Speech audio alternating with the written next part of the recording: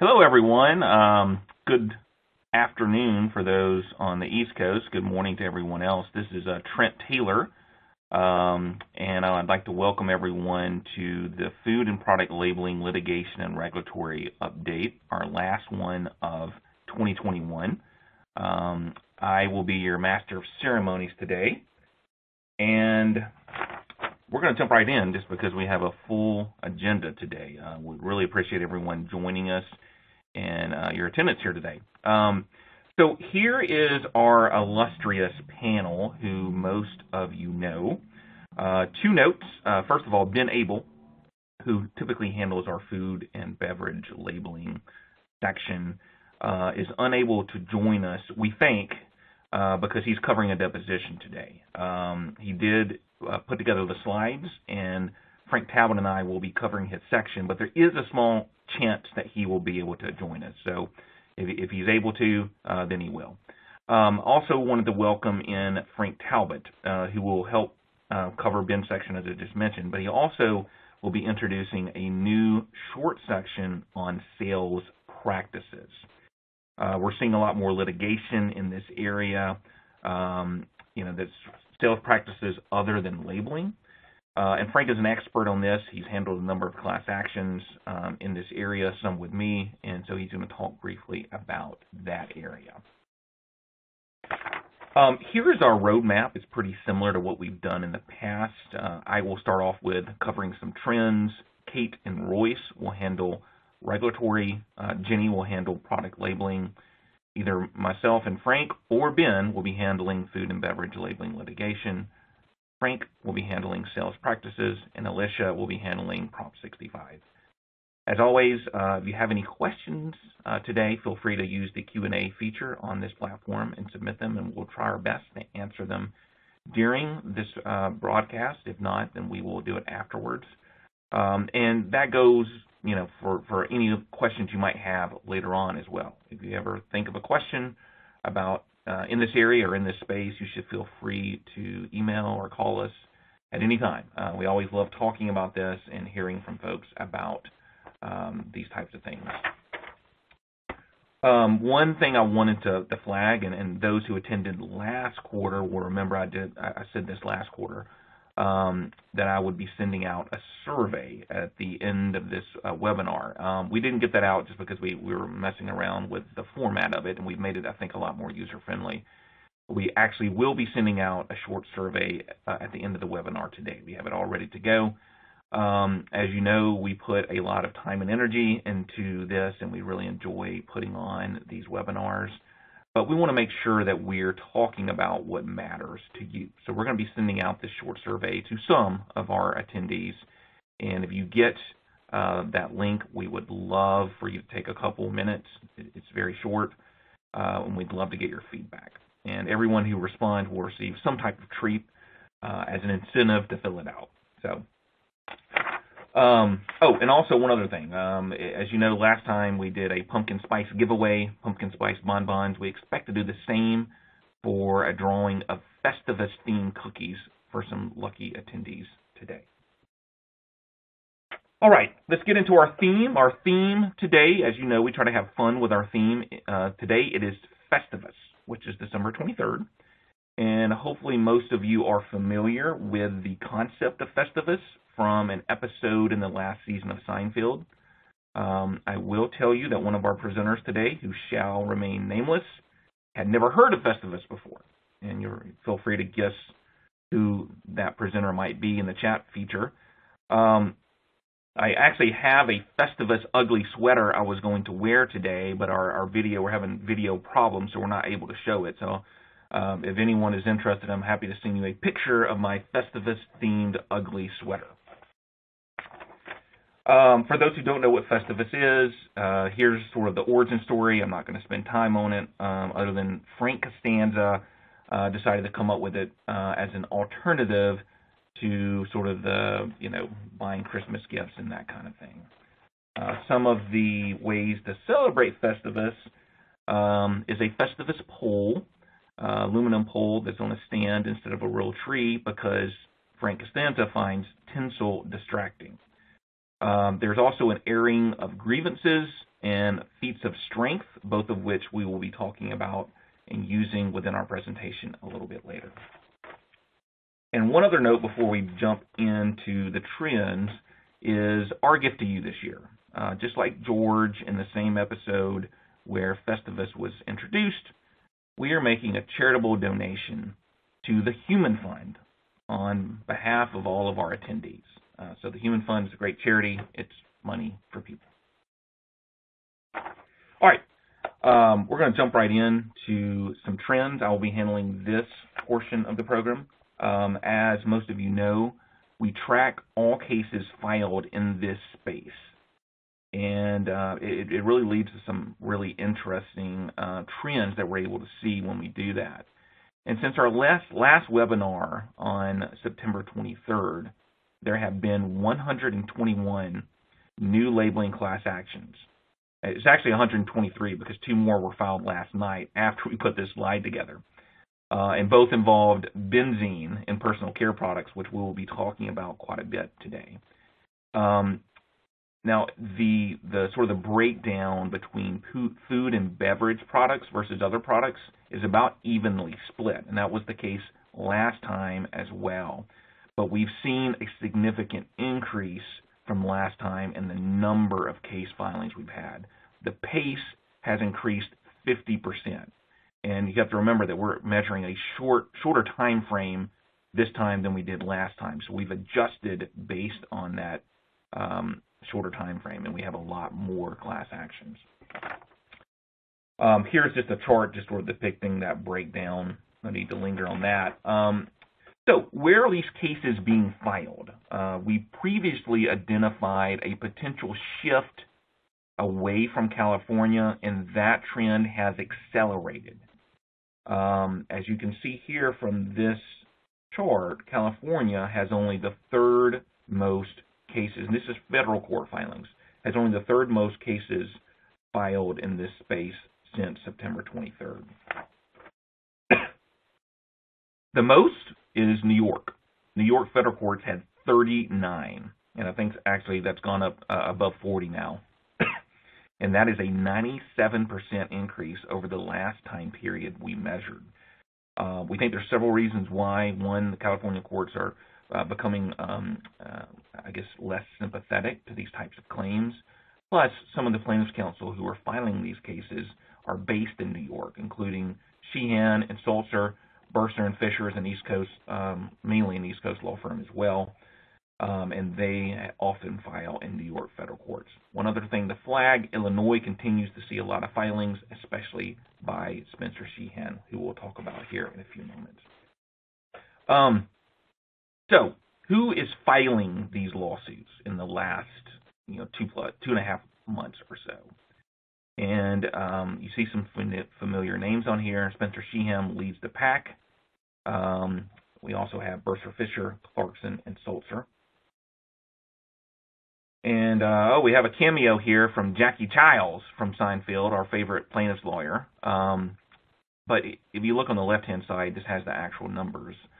Um, Sheehan, uh, 29 new cases, new labeling class actions since September 23rd, and that's actually he's actually increased his rate of filing, and, it's by 52% over last quarter. Uh, I know that he was already on a torrid pace um, in terms of filing these suits. He's actually increased it. Um, he even had one last month targeting a camera um, and another one targeting infant formula because, and I quote, it does not contain the same components as breast milk. So um, he's sort of expanding uh, the types of suits that he's finding to a certain degree. All right, what are the product, the types of products that are being targeted by these class action labeling suits? Um, lots of personal care products, as you can see here. Let me get to the next slide with the actual numbers. Um, personal care products, 37 new labeling class actions, and that's an 88% increase over the last quarter. Uh, Jenny's going to be talking about these in a little more detail later, so I will not linger over them. Um, but I think it's interesting that that is sort of leading the way right now. Um, okay, what are the labeling claims that are being targeted?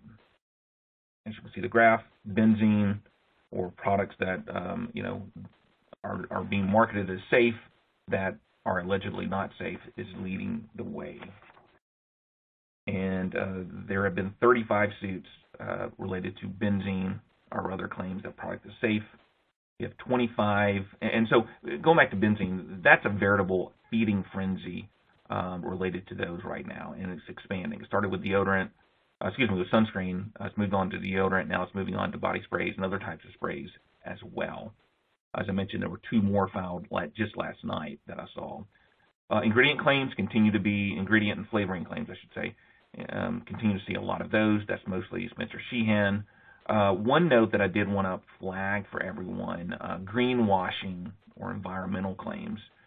There were 15 filed um, in this uh, since September 23rd, and that is a 300% increase in what we saw over the last quarter.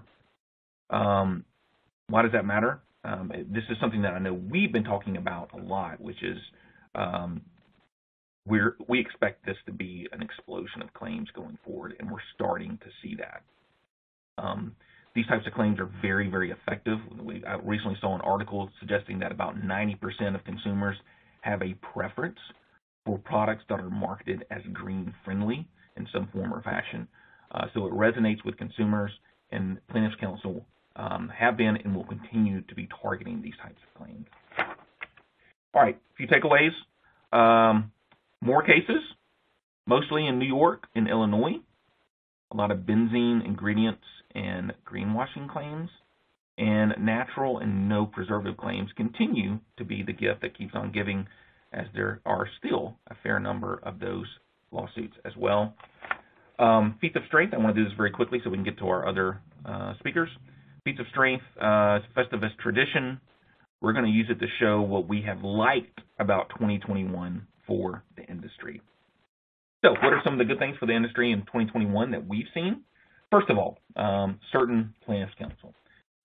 And to be blunt, that's really uh, Spencer Sheehan. Um, as annoying as his proliferation of suits has been, in some ways it's been a good thing. It's been a gift because he has lost many of those suits and he has created a trail of great decisions for defendants. The number two and number three reasons up here are also um, directly related, at least in part, to Sheehan. We're seeing more uh, courts that are applying the reasonable consumer test, leading to more motions to dismiss granted. And we're seeing some labeling litigation fatigue among some judges, especially in the Northern District of um, California. Um, we've seen some other great results in California courts on things such as equitable claims, standing arbitration, future injunctive relief, and um, and going up to the Ninth Circuit as well. And, and, that may explain why we are seeing more cases filed in New York and Illinois as well. Okay, airing grievances is another Festivus tradition, and we will use that to highlight a few of the not so great things for industry in 2021 more cases, as we just talked about, uh, more cases in more jurisdictions. Um, class settlements, we continue to worry about class settlements becoming harder to get approved. The Briseño case from the Ninth Circuit has um, put a damper on claims made settlements in California, and we'll be watching, uh, especially appellate courts going forward, um, about what they do with some of these class settlements. Uh, we continue to see some not so great results in some places, uh, resulting in you know classes being certified and some expensive settlements. Although I will say I think it's it's down over past years, so that is a good thing. And then of course there's the benzene feeding frenzy, which Jenny will be talking about. Um, here's my last slide for now. Uh, what to watch for in 2022? Um, greenwashing claims. I think we're going to see a lot more of those. Um, we'll be talking about that a little bit more in the rest of our webinar. Uh, will there be a spillover from the benzene suits into other types of litigation, other chemicals? Um, that's something else that I think Jenny's going to touch on a little bit later. Um, one thing I wanted to flag that that we don't know what the implications are right now, but is something to keep an eye on, and that's the non-delegation doctrine potentially being revived by the U.S. Supreme Court in the West Virginia v. EPA case. It could end up having huge consequences for all executive branch rulemaking and regulations, including those related to FDA and other um, executive branches that might have uh, rules and regulations affecting the industry. Uh, there's no oral argument date set for this case yet, but it's something we're going to be expected to be in the next three to four months, and we're going to be keeping a close eye on. Last one, and this is my segue to Kate and Royce. Uh, we expect there to be increased regulatory uh, in 2022 as well. And so with that, let me pass it over to Kate and Royce. Hey, how is everyone doing today on this uh, wonderful, not yet Festivus, but soon to be Festivus day? Um, I'm Royce DuBiner. I'm in Chicago, and I've got Kate Hardy with me in Charlotte, and we're just going to keep cruising here. Um, so in case you didn't know this, you know, this is one of my favorite lines from Seinfeld. These pretzels are making me thirsty, famous Kramer line. Uh, FDA is starting to question uh, the Festivus dinner's standard of identity. And what do I mean by that? So we saw over the past year, you know, new, past couple of years, new foods and new types of foods making their way into the market that were things that we never really thought food science could do before, but food science has done. I'm talking about plant-based meats, uh, cell-grown um, products, all sorts of things like that. And we've seen an aggressive uh, stance by states and state legislatures to create standards of identity for foods. And that's, um, you know, what do you call ice cream? What do you call French vanilla ice cream? Things like that. Uh, official codified standards for food. And in absence of those for some of these new food products, states have, you know, as we've said in past webinars, have tried to define what is butter, what is beef, what is milk. This isn't a USDA thing. This is we're talking really FDA here. FDA issued a, a guidance and said, look, you know, we're going to step into this game. We're going to begin issuing temporary marketing permits for food that doesn't necessarily meet a standard of identity. And these permits are going to give you, uh, call them modern day indulgences from FDA, are going to give you an ability to market a product in interstate commerce without fear of FDA questioning the standard of identity or the labeling. It's really unique for FDA to do this. Um, it gives you 15 months uh, test market period. You need to submit your label to FDA, which we'll get into. If y'all who have products that are regulated by USDA know that part of the process, you submit a label to USDA, USDA blesses it, says it's good. You get something called preemption. You also don't have to worry about USDA coming back and necessarily hitting you up on that label. FDA may be doing the same thing. Um, and you submit your label to FDA. Uh, it's per product. I believe FDA is leaning, I have to reread it specifically, but it's leading towards industry saying you can submit for industry, but it still needs to list the product there. But wh where is this going? Um, it's great that FDA is stepping in here and starting to regulate this space. But are we heading for, and this is uh, from the episode where Kramer and uh, Newman believe that Michigan can give them better rebates uh, or redemption on their cans so they steal a post office truck and drive cans to Michigan. Um, it looks like we may be heading to preemption. And preemption is one of those um, I didn't do well in con law, so I'm, I'm going to butcher it. But uh, preemption is one of those things where, because of FDA's authority uh, and the preemption of federal law, if FDA is saying that a label looks good and is good and can be sold in commerce, what does that do for a state law that says that a food needs to be called a certain way? So if I've got like, you know, plant-based meat being called one thing and FDA says that that's okay, but then I've got the state of Louisiana that says, you know, this is hypothetical that crawfish can never be plant-based. Where does that put us in the world of preemption? Um, is it a defense? Where does FTC fall into all of this because FDA is now officially approving labels? I think what happened here was FDA jumped into this mess and didn't really think through all of the issues. So I think this is something to watch. Um, happy to to talk offline about where I think it's going. But this is interesting. This is an interesting development. And it didn't really get a lot of, I think, press or attention. But for those out there in experimental foods, this is this is big stuff and something to watch. Um, personally, I think there's an argument to be made uh, that you know if FDA is blessing something, um, you know let's roll with it. But you know more analysis needs to be done, obviously. Uh, next major development in the world of FDA, going back to a Festivus theme, potential doll fighting over FDA's commissioner. Um, Robert Califf is an old guard of FDA, not not a Beltway, uh, you know, bureaucratic insider like um, some of the other folks at FDA, but you know, he he's been around. He was he was Obama's commissioner. I, I actually met him once. I think he was he was okay. Um, cardiologist, uh, physician. His game is largely focused on the drug industry.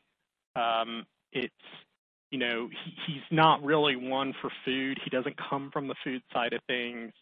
He's a physician, very empirical, very data driven, very much about about drugs but also worked in industry, um, worked for a company that was, um, uh, you know, you know, managed by Google.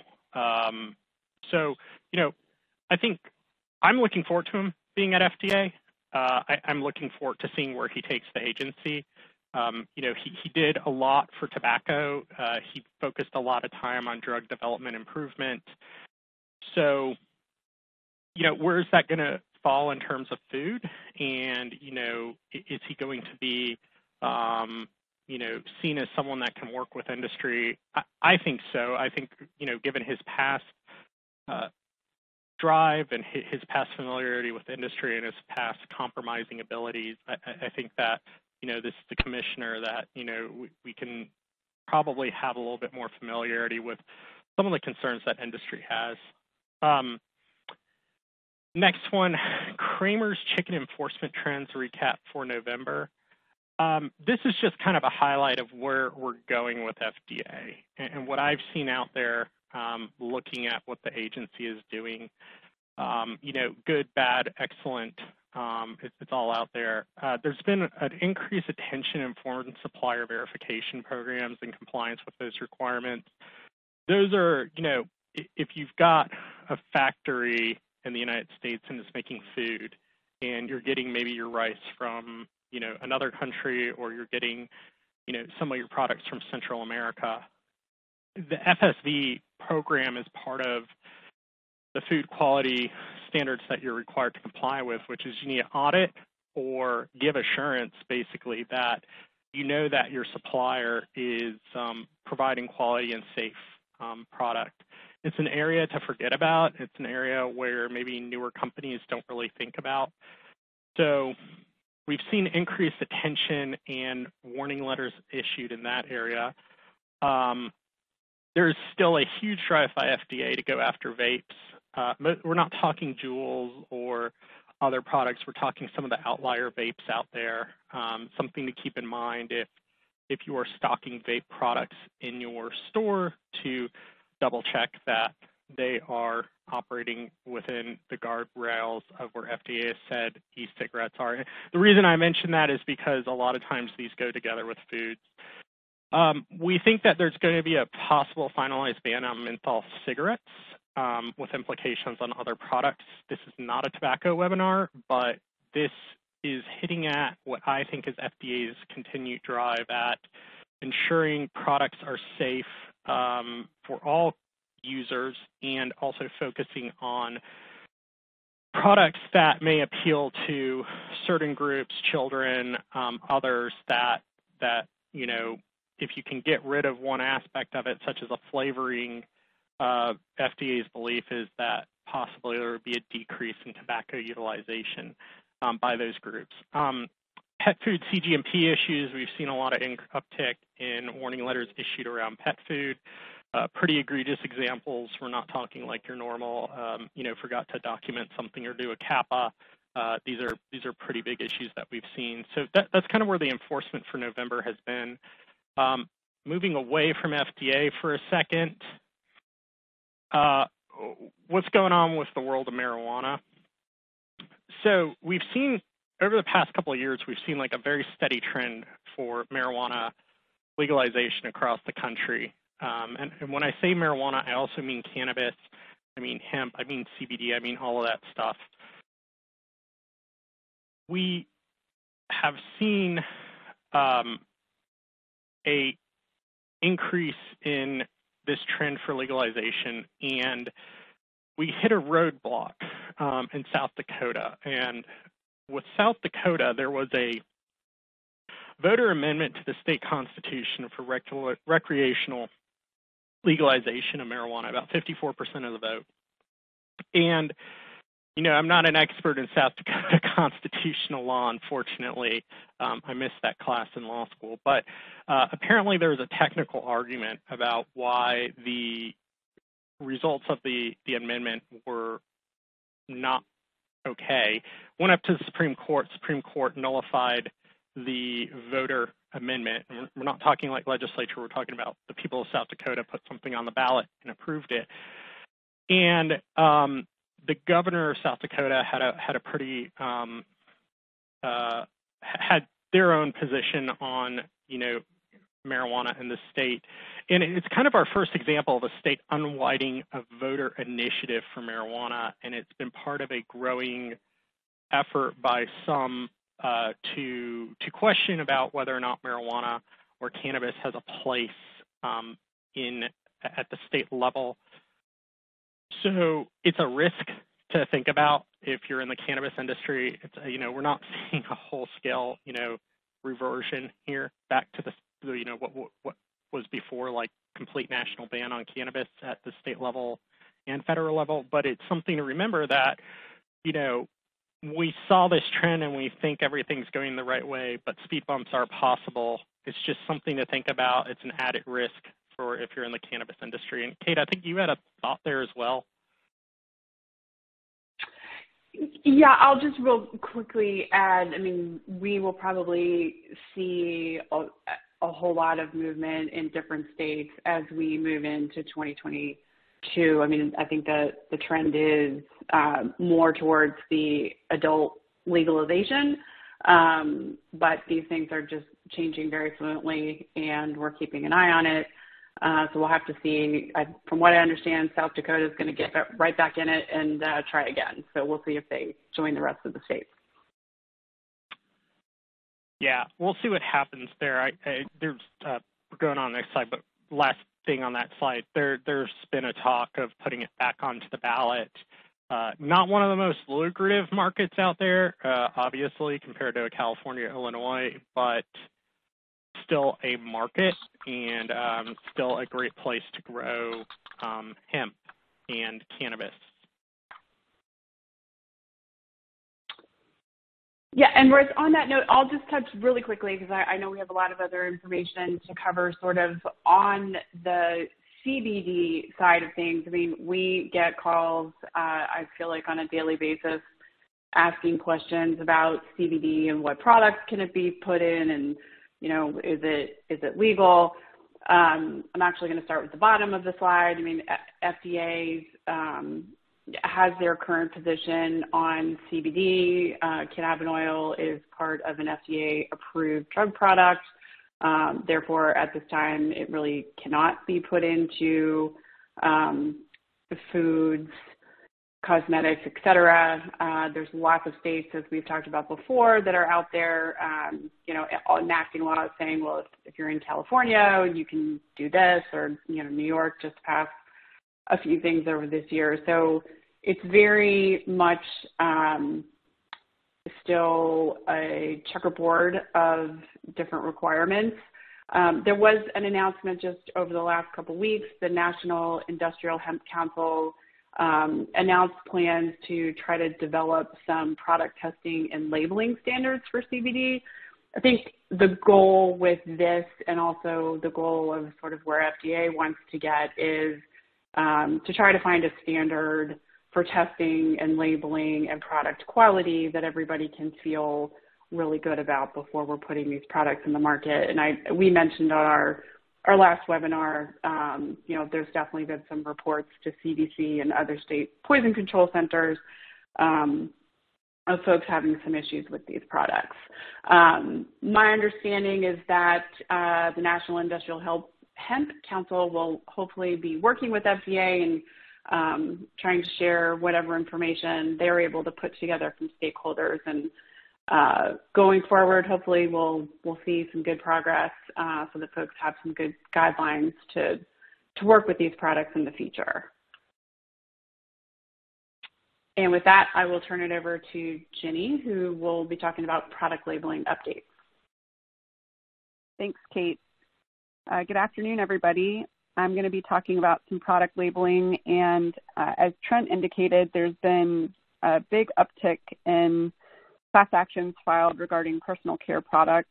Um, the first on the list is um, batteries, which isn't really a personal care product, but I at least wanted to mention because, um, as I've mentioned in I think almost every single webinar that um, I've participated in, uh, you know, one thing that you need to be very cognizant of when creating product labels is making sure that you can substantiate the claims that you're making on those products. Um, and in this Darren case that was filed in the Central District of California, the allegation is that Ener- Energizer uh, falsely is marketing its AA uh, max batteries, saying that um, falsely saying that they last 50% longer um, than your basic alkaline um, AA batteries. So it'll be interesting to see how that plays out and to see if Energizer is going to be able to, um, you know, substantiate those claims. But I at least wanted to include this because um, if you're going to be putting a, a claim on your label or a statement on your label about, you know, specific product uh, performance, definitely need to be able to substantiate that with testing and other documents, um, or it's really going to be opening yourself up to um, some significant liability. Because I mean, I think it's clear um, that plaintiffs' attorneys are looking at and doing their own independent testing on products that are making claims such as you know 50% longer or making claims about um, product performance and you know, going out and doing some independent testing, and if it's different than what the claim is made, then they're, you know, filing suit um, and, and filing suit with class actions. So uh, just another plug on, you know, making sure that your claims and statements on products are accurate and that you have that substantiation to uh, back that up. So moving more into the personal care products, um, again, no one that has been on these webinars before is going to be surprised to hear me talking about hand sanitizer. Um, it's been talked about for probably two years now. We started talking about it right before COVID hit, and then um, it became a real hot topic during COVID with some, you know, class actions being filed across the country and across um, manufacturers and distributors. Um, and we have yet another hand sanitizer. This is one of two that was recently filed, so it's still an area of interest for plaintiffs' counsel. This one was filed against Target um, in the Northern District of Illinois. Again, as Trent pointed out, Illinois is becoming sort of a, um, a, a feeding ground for plaintiffs' lawyers to file class actions. Um, this one was filed alleging that Target had misled consumers that its alcohol-based hand sanitizers capable of killing 99.99% of germs. Um, the next case um, that was filed is, you know, we've, we've talked previously, Ben has talked about um, pet food being targeted and sort of the food labeling um, area for class actions. And I wanted to highlight that now we're moving into personal care products for pets being um, on the chopping block for, for plaintiffs. And this particular case that was filed in the Southern District of New York, another, you know, um, hot area for class actions to be filed, as Trent pointed out, um, involves uh, Burt's Bees, and they're the defendant, and the plaintiff is alleging that defendant um, massively deceived pet owners by falsely labeling its collection of animal shampoos as 99.7% natural. Um, you know, the natural allegation is one that we've talked about um, primarily in the food labeling, but you know we're starting to see it come into uh, product labeling, um, and now obviously into pet personal care products. And then the last uh, personal care product that I wanted to mention um, that segues nicely with, you know, we hear a lot about THC and marijuana products from Kate and Royce on the regulatory side, but uh, we're starting to see those um, marijuana products being brought into class actions as well. This is an example. Um, this one was filed in Wayne County Circuit Court in Michigan, uh, where the plaintiff is alleging defendant exclusive brands LLC misrepresented the amount of THC in their marijuana products. They could charge a price premium. Um, and I just, you know, I wanted to highlight that you're starting to see um, marijuana products coming into that class action um, space. The next area uh, that I wanted to speak about is the benzene class actions. As Trent pointed out, this is a a really hot topic um, or hot area for plaintiff counsel to be filing class actions on. Um, a ton have been filed in the last um, few months, primarily focused on sunscreen, which isn't super surprising. Um, I know over the summer we talked about on our webinar uh, the benzene sunscreen recall. It was a voluntary recall that was done uh, by Johnson and Johnson and now we're starting to see um, a big uptick in benzene sunscreen class actions. Um, and, and they're kind of being filed all over the place, as you can see, Southern District of California, Eastern District of Missouri, Eastern District of New Jersey, I mean, excuse me, of New York, and then the District of New Jersey. Um, and essentially, the allegations in those is that the defendant uh, allegedly sold a sunscreen that contained benzene, which is unsafe and a carcinogen. Um, so, you know, that's something to definitely keep an eye on. And you're seeing that, you know, it's not just limited to Johnson and Johnson who have done that voluntary recall, but, you know, across um, manufacturers and, and products. You also see that bleeding over into other um, personal care products that may contain benzene. So once benzene sort of got on plaintiff counsel's radar, um, you start seeing other um, personal care products like body spray and deodorant that are making similar benzene allegations, you know, that the defendant made or sold um, a deodorant or body spray that contained an unsafe amount of benzene um, and, and filing suit. You see one here down in um, the Northern District of Illinois and this body spray one that was filed in the Southern District of Ohio. And actually, while we've been on the webinar, um, there was another uh, aerosol antiperspirant benzene um, that was filed by Reese LLP in the Southern District of California. So that just, you know, sort of goes back to what Trent and I were saying about um, how this is a real feeding frenzy, um, and they they just are almost rolling in um, daily new class actions. So that's definitely, I think, going to continue um, into 2022. The next uh, hot area for product um, labeling class actions is what Trent has mentioned, which is this greenwashing, which is basically when um, the claims are made about a product being recyclable or compostable, um, pasture raised, plant based, or reef friendly. Um, that's been something that I've seen that's been a new um, way to say, you know, something is is green or, or earth friendly is this reef friendly um, label that's being put on um, some products. And you know, you see it a lot with um, like this Niagara bottling um, and the Reynolds consumer products regarding, you know, recycling that the product is able to be recycled when actually it's not. Uh, we talked about this um, a few webinars ago. There was a, a trash bag company that had been sued um, that had the, the plaintiff was saying that the defendant was saying the trash bags were recyclable, but they actually were not. Um, and you're continuing to see that trend here at the end of 2021. Um, and I, think Trent's absolutely right that the greenwashing is just going to be um, a real uh, hot area for plaintiffs to file suit in in the product labeling area. The other update that I wanted to give is on PFAS. I know we've spent um, several webinars talking about PFAS and um, some class actions that have arisen uh, from products that allegedly contain PFAS.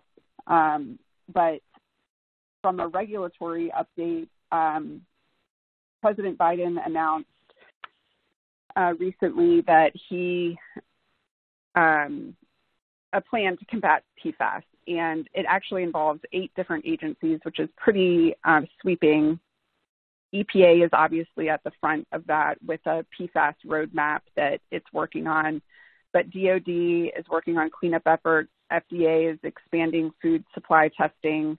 The Department of Agriculture is also involved in support of research into PFAS in the food system and taking action to prevent and address contamination. Homeland Security and FEMA um, have been tasked with investigating and remediating PFAS, particularly in protecting emergency responders. Um, and that relates to spe- specific allegations regarding um, contamination of PFAS through um, fire suppressants. And then finally, the Department of Health and Human Services continues to review um, the evolving science on human health and PFAS. So, all of that is to say that PFAS, I think, you know, with the Biden administration announcing this plan to combat PFAS and getting eight agencies involved, um, it just highlights um, Trent's point earlier about, you know, um, the Biden administration, um, you know, really putting its its foot on the gas pedal regarding um, regulatory um, action, and also I think that you're going to see uh, just a, continued uptick in PFAS um, class actions and litigation. Uh, with that, I'm going to pass it to Ben. Hey everyone, this is Ben Abel, uh, not in abstention. I, I am here, um, uh, rappelling down from the rafters. Uh, going to talk briefly about uh, updates in the food and beverage uh, labeling space. I want to try to move quickly so I can ensure that Frank and Alicia have enough time behind me. Uh, so the first of those um, is we may be slowly not talking as much about vanilla and flavoring litigation those cases, uh, uh, largely filed by Spencer Sheehan, as uh, as Trent discussed, have seemed to slow, um, if not stop entirely. However, the kind of template of those suits has has not slowed.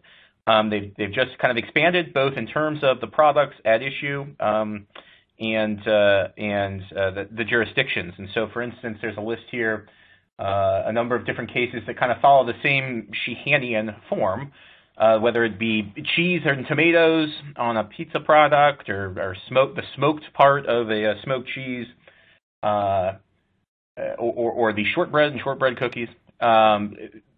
Kind of the same format, the same plug and play, the same type of allegations have been made um, and are being made, and they are being made, as Trent said, not just in uh, the Southern District of New York and Eastern District of New York, where, where Spencer kind of you know took off with all the, the labeling litigation, or in California, where he went next, but We've seen these in Wisconsin. We've seen these in uh, uh, uh, in Illinois, a lot in Illinois, frankly, frequently. Uh, uh, recently, Massachusetts, and so whereas you could expect these to find these suits in, in a couple places, um, they, they are proliferating all over the place, both in terms of the type of products that are a part of the suits um, and the places in which they are filed. So be on the lookout. However, those suits um, still are following their familiar form.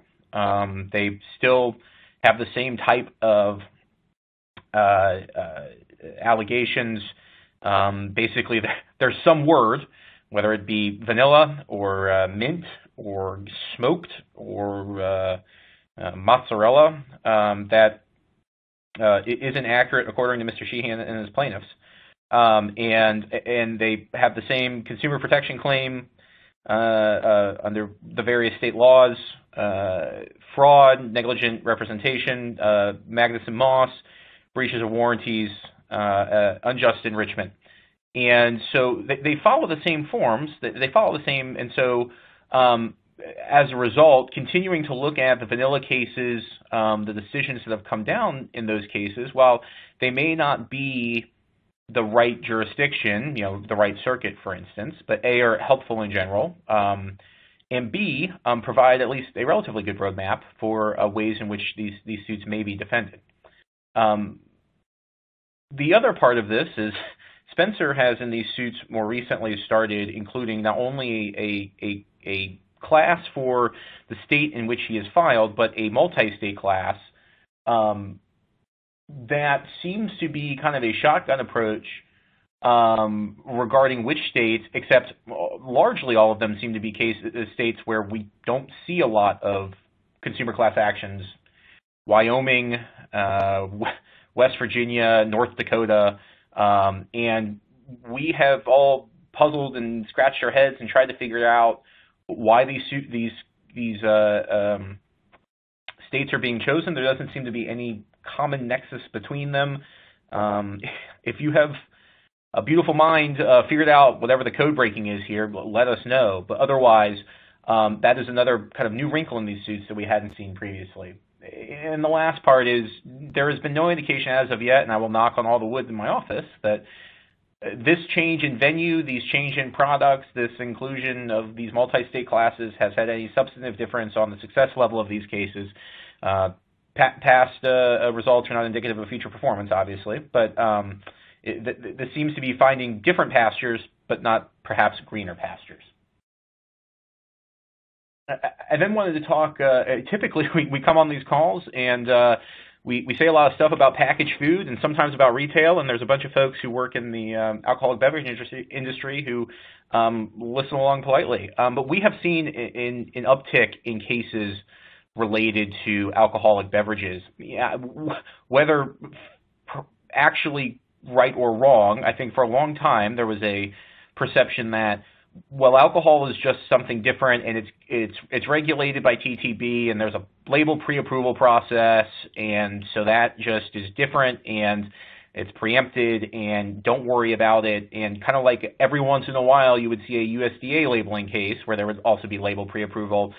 Alcohol label cases were few and far between, um, and those have recently really increased. Um, I think for a number of different reasons. Um, some of those dealing with uh, uh, hard seltzers and whether or not hard seltzers are covered by TTB uh, or if they're covered by FDA. And that, I think, as I understand it, has something to do with whether the the liquor in the hard seltzer is a malted or barley malt, malt beverage or malt, malt liquor, in which case it would be TTB, or if it's a sugar-based alcohol, in which case it might be, or at least is arguably covered by FDA, um, and has a different set of regulations. And so we've seen a, with the proliferation of hard seltzers, seen a proliferation of labeling suits related especially to hard seltzers, but to alcohol more generally. So for instance, we've seen a couple suits, uh, the the first suit there at the top, and then as well the uh, the Wagner suit uh,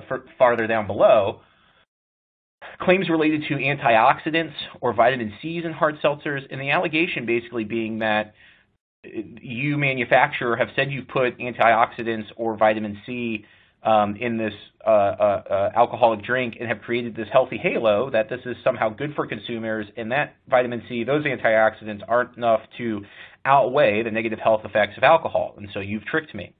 Um, that uh, that the, the, Wagner case involving uh, a Vizzy hard seltzer uh, was voluntarily dismissed. Uh, could mean any number of things. I think some folks on the call may have a better idea than I what that meant, but that was a case that was filed um, and then uh, was voluntarily dismissed. So it was one of the first kind of cases uh, in the hard seltzer space.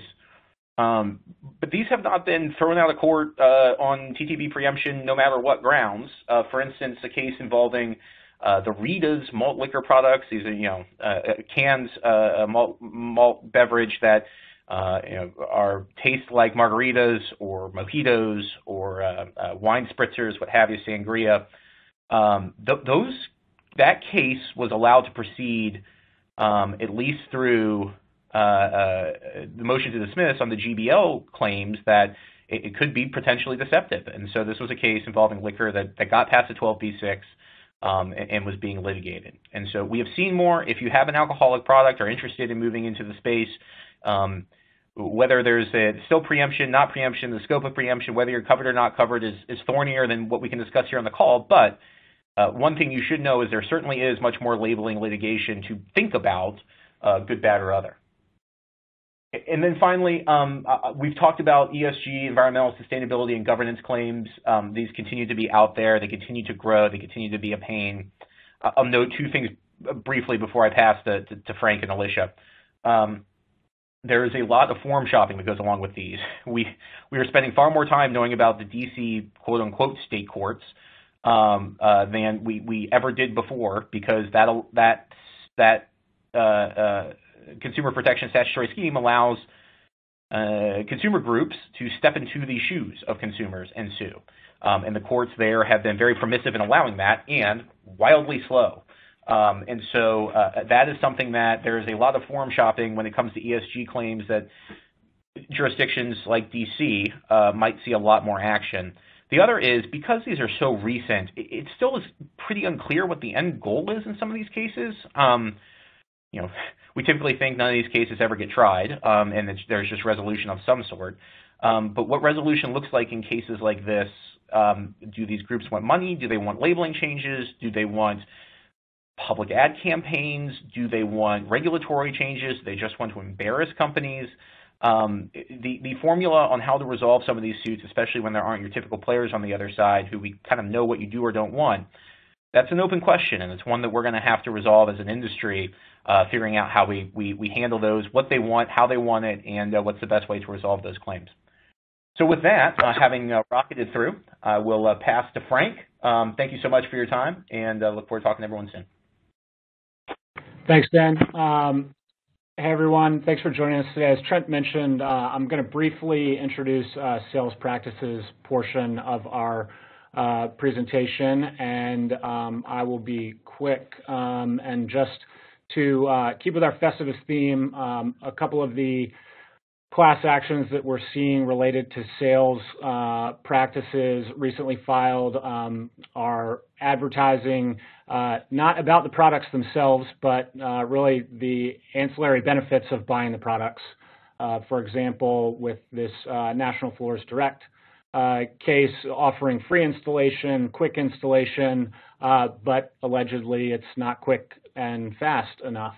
Uh, then we have, uh, as you see, a slew of uh, cases related to um, shoes, um, dress clothes, uh, wetsuits that have been filed.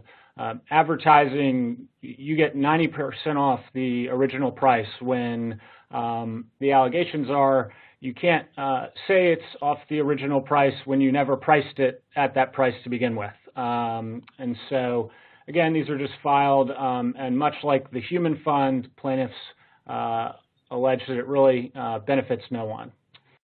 Uh, so then the uh, two quick uh, sales practices cases related to DoorDash and food delivery services. Um, so for those uh, looking to DoorDash or Uber Eats their Festivus meatloaf, uh, you'll probably purchase it for $20, and then by the time you get to checkout, you see you've gotten a delivery fee, a service fee, uh, and a number of other fees. And so both consumers and governments uh, have instituted lawsuits against uh, these food delivery services saying that's unfair and unconscionable because you're advertising delivery, but then we're having to pay service, and suddenly our uh, we're having to pay three times as much for um, the red sauce for the Festivus spaghetti. Um, but the companies haven't taken it sitting down. Uh, DoorDash, Uber Eats, and uh, Postmates have uh, sued the city of New York uh, trying to overturn their caps on fees. Um, the city council capped fees during COVID to try and protect consumers. And so now uh, the consumers and governments are engaged in feats of strength uh, with the companies uh, trying to sort that all out. Um, and the key takeaway here is that just as you can always uh, have plaintiffs' attorneys who are Uh, going after claims on the labels, uh, as Ben pointed out, you can also have them going after claims on the other stuff related to the sales process.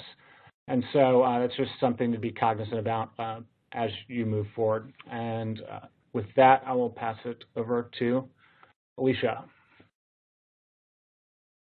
Thanks, Frank, and hi, everyone. Um, I'm in the LA office here, and I know we are running close to our promised end time, so I'm going to try and breeze through this section. Oh, excuse me, that's actually not my slide. Okay. First off, updated on update on some changes that we discussed previously to the short form warnings that were proposed under Prop 65. As you may remember, in the beginning of the year, OEHHA proposed changes to short form warnings. The quick update is that OEHHA still has not issued its final statement of reasons or modifications to the short form warning amendments. After they issue their final statement of reasons, which could be following modifications and an, and an additional comment period, the Office of Administrative Law will still have to take 30 working days to approve the regulation. We can expect that that approval is not going to be happening until sometime in 2022 and the warnings are required for products manufactured an additional year from the date of OAL's approval. So the takeaway for everyone is that updating lab updated labeling for Prop 65 will likely be required for products manufactured in 2023, sometime in 2023, assuming that OEHHA gets going on finalizing them. However, the precise timing and final warning text is still unknown until we get that final statement of reasons. Another quick update on the acrylamide Prop 65 specific warnings that came out right before our last webinar in September. So we have proposed those new safe harbor warnings specifically for acrylamide in food that would add a subsection to Prop 65 regulations with tailored warnings for foods that contain acrylamide. The specific warnings are optional. You would still be able to use the standard safe harbor language under Prop 65. The comment period for that is now closed, closed on November 8th, and on the last day of the comment period, Cal Chamber of Commerce, as well as Consumer Brands Association and several other organizations and companies submitted a joint letter opposing the proposed warnings.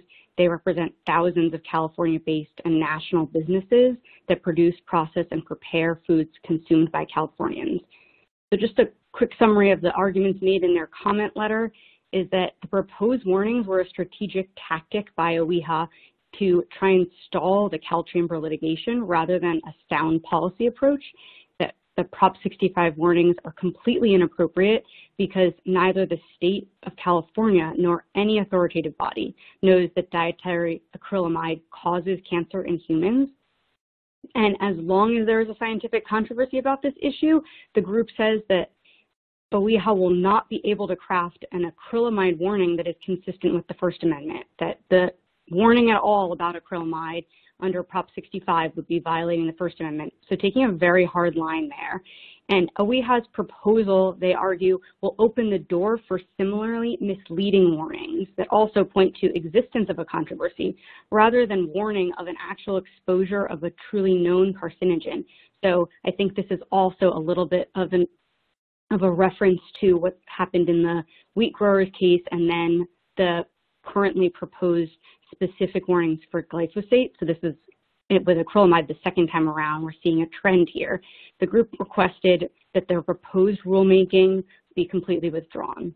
So what to look out for next here is that there's a public, no public hearing scheduled. It'll only be scheduled upon request and that OEHHA has estimated that their rulemaking on the acrylamide warnings will be complete by April of 2022. Another quick update on a case that we've been discussing, the California Chamber of Commerce v. Becerra, which is currently pending in the Eastern District of California U.S. District Court, as well as on appeal in the Ninth Circuit. So as a quick refresher, the U.S. District Court issued a preliminary injunction back in March, which enjoined new lawsuits to enforce Prop 65 requirements for acrylamide in food and beverage. That case discusses that there's a lack, I mean, the, the order issued by the court says that there's a lack of scientific evidence showing that acrylamide causes cancer in humans, meaning Prop 65 is compelling false speech by requiring companies warn that acrylamide, quote unquote, is known to the state of California to cause cancer, as required under those safe harbor warnings. An intervener, CERT, appealed the ruling in the Ninth Circuit, and the Ninth Circuit has now stayed the injunction. The next steps for that case are that now we have an oral argument date set for the Ninth Circuit on January 12, 2022, and the U.S. District Court case seems to have completely stalled, similar to the wheat growers case, because of OEHHA issuing those tailored warnings for acrylamide. So it seems that it's going to remain stayed and nothing substantive will be occurring in that case until after OEHHA issues the final warnings, which may not be until April 2022 or realistically possibly later.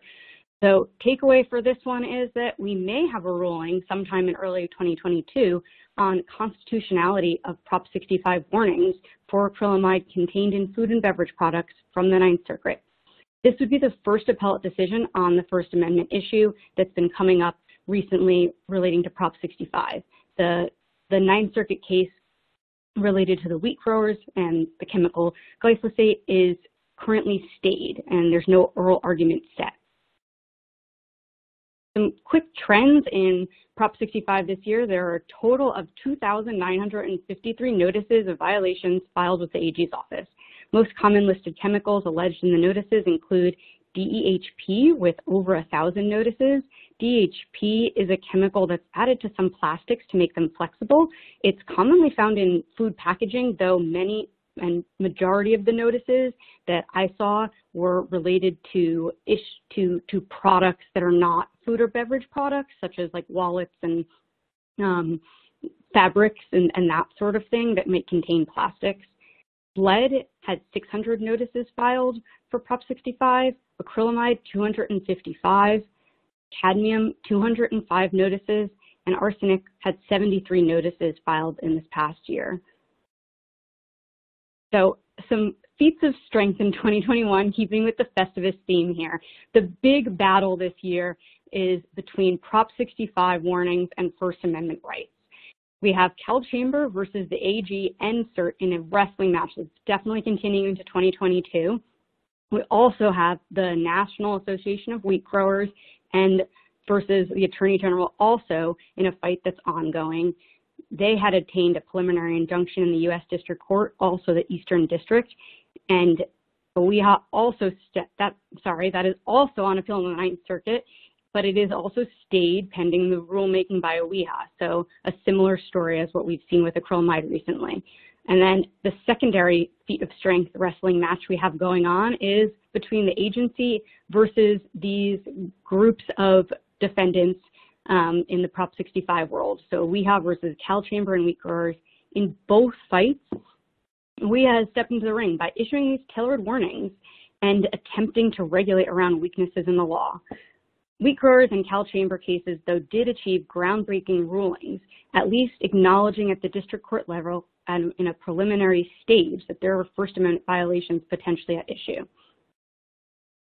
These fighters called out a key issue with Prop 65, Warnings are required under Prop 65 to state that a chemical is quote unquote known to cause cancer. However, Prop 65 does not actually require that the chemicals listed and those chemicals requiring the warnings are scientifically proven to cause cancer. This inconsistency has created a significant risk of misleading warnings that's called out in the wrestling matches going on in 2021. And OEHHA may have stalled the actions, but it remains to be seen whether their tailored warnings are going to eliminate the First Amendment issue. Plus, promulgating tailored warnings every time this issue arises seems pretty impractical going forward. Could these cases actually lead to a Festivus miracle? If this trend continues, it may ultimately require California to alter warning requirements under Prop 65 to guard against misleading warnings, potentially changing what is required for a chemical to be listed. And finally, the airing of grievances for Prop 65 from 2021. I'm sure many of you have some to add to this list. OEHHA has frustrated Prop 65 defendants by refusing to acknowledge or meaningfully address the issues with Prop 65 labeling requirements and the First Amendment. the California Attorney General has disappointed Prop 65 bounty hunters by admitting that acrylamide is not known, quote unquote, to cause cancer in their briefing in the Cal Chamber case. And 2,953 notices of violation served this year definitely perturbed a number of manufacturers, retailers, and suppliers, many of whom may be listening right now who do business in California. It'll definitely be a Festivus miracle if no more Prop 65 notices are served before the end of the year. And with that, I'm going to pass it back to Trent to close us out.